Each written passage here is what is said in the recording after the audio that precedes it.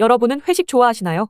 남성분들이라면 회식도 사회생활이라는 인식을 하고 있을 건데 이상하게 여성들에게는 그런 마인드를 찾아보기 힘들죠.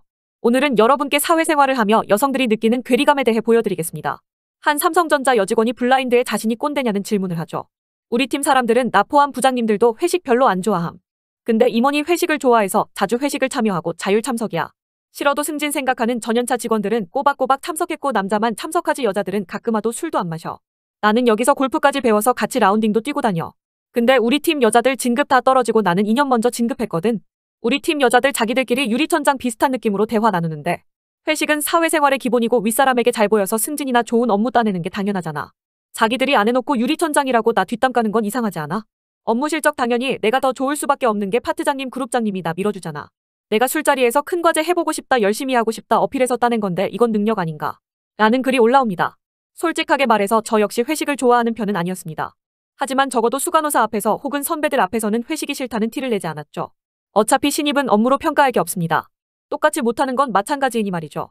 그러면 당연히 윗사람에게 어필하고 일 배우고 싶다 말하는 사람이 좋은 평가를 받는 게 당연하지 않습니까? 이 사항에 대해서 여시들 중에 혹시 회사에서 왕따 당하는 경우 있어? 라는 여초 커뮤니티의 말이 있습니다.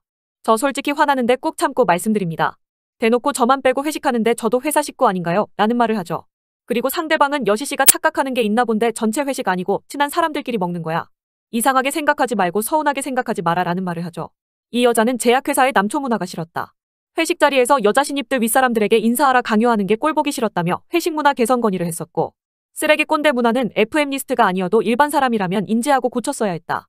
근데 그거 말 한 번 하고 나서 팀원 절반 정도 참여하는 회식 자리에 나 빼고 한다는 걸 들었음. 한남들 회식 자리에서 딸랑거리는 거 잘한다고 칭찬받고 인사평가하는 거 지읒 같았는데 어떻게 회사 엎어버려야 하는 걸까? 라는 발언을 합니다.